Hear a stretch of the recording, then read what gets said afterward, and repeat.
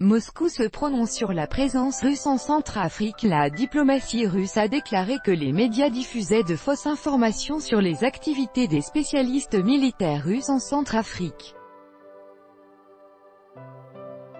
Selon Moscou, ils sont chargés d'aider les autorités locales à réformer leurs forces de sécurité. La porte-parole de la diplomatie russe Maria Zakharova a déclaré jeudi que les militaires russes ne participaient pas au combat dans la République centrafricaine.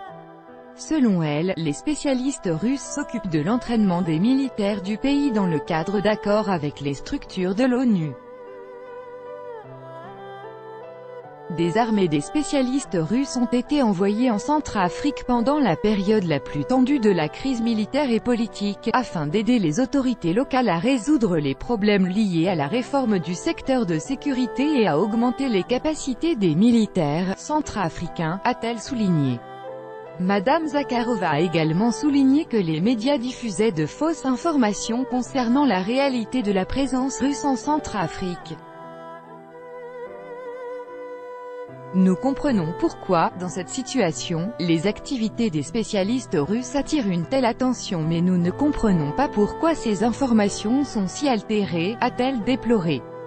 Les corps d'Orkan Djemal, Alexandre Rastorgouev et Kirill Radchenko ont été retrouvés le 31 juillet en Centrafrique.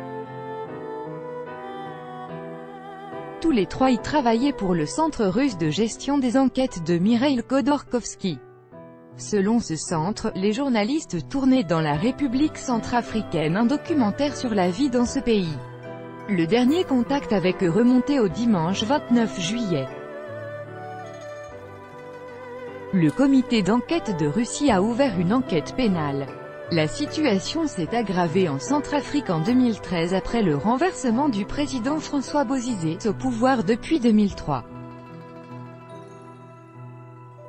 Les milices d'autodéfense chrétien anti-Balaka, anti-Machette, se sont opposées aux combattants du groupe islamiste Seleka, qui avait renversé le chef de l'État. D'après les Nations Unies, durant le conflit, jusqu'à un million de personnes ont dû quitter leur foyer, plus d'un millier ont été tués.